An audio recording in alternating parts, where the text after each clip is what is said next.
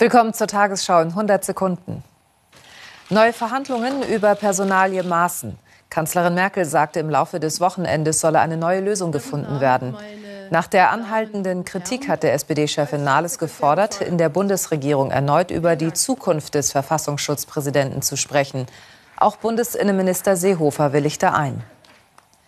Zustimmung für Große Koalitionen sinkt. Wäre am Sonntag Bundestagswahl, bekäme die Union 28 Prozent, die SPD läge bei 17 Prozent, so der aktuelle ARD-Deutschland-Trend.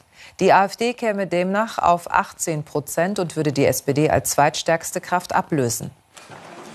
Wohngipfel im Kanzleramt. Die Bundesregierung will mit einer Reihe von Beschlüssen für mehr bezahlbaren Wohnraum sorgen.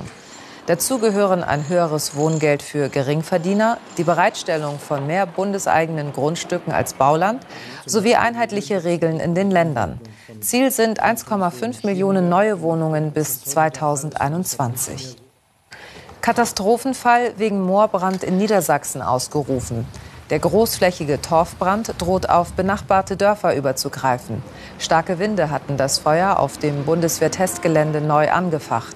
Seit mehr als zwei Wochen brennt das Moor bereits, ausgelöst durch Raketentests der Bundeswehr. Erster Herbststurm über Deutschland.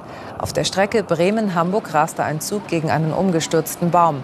Ein Passagier wurde schwer verletzt. Für Sonntag sagen Meteorologen den nächsten Sturm voraus, bei dem mit orkanartigen Böen gerechnet werden müsse. Das Wetter morgen ein Wechsel aus Sonne und Wolken, im Süden auch länger freundlich, im Norden bei lebhaften Wind, Schauer und kurze Gewitter. 14 bis 21 Grad.